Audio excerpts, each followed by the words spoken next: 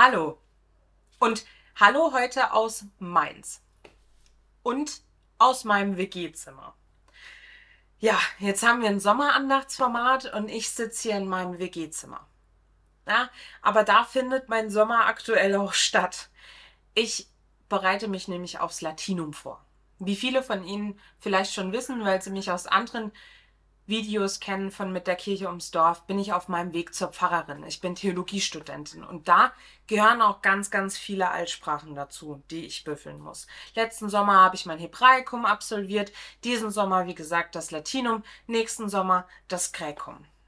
Ja, und das kann auch richtig hart sein, weil dann sitzt man den ganzen Sommer in seinem Zimmer oder in der Uni und lernt und alles drum und dran und die ganzen Freunde und Familie außenrum fahren in Urlaub oder planen Partys oder sonst irgendwas und man sitzt da einfach nur und dekliniert zum 500. Mal dasselbe Wort.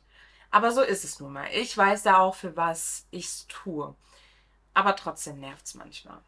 Und ganz lang, vor allem letzten Sommer, habe ich da gesessen und habe mir keine richtigen Pausen gegönnt. Habe den Sommer so gar nicht genossen. Ich war dann nur am Büffeln. Und diesen Sommer habe ich mir geschworen, da mache ich es anders. Da nehme ich mir Pausen. Kleine Sommerpausen. Und das mache ich auch. Wenn ich gelernt habe, dann gucke ich, dass ich nochmal rauskomme. Dann setze ich mich nochmal an den Rhein oder zumindest in den Garten. Gestern waren wir zum Beispiel mit Freunden dann auch noch im Freibad. Und das war wirklich genial, weil den ganzen Morgen gelernt, mittags noch in der Uni und dann ins kühle Nass springen. Ich konnte mir gar nichts Schöneres vorstellen. Und die kleinen Pausen, die sind wirklich so wichtig und geben einem so viel. Und wenn To-Dos nicht super, super wichtig sind, dann kann man die vielleicht auch mal kurz zur Seite legen und sagen, hey, jetzt gönne ich mir noch ein paar Sonnenstrahlen.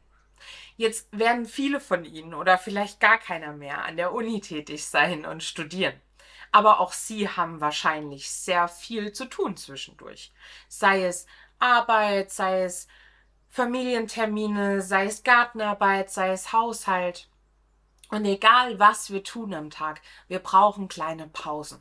Und gerade im Sommer, wenn wir ganz schnell ans Vitamin D kommen, was wir so sehr brauchen, um zu funktionieren, da sollten wir uns die Pausen extra nehmen.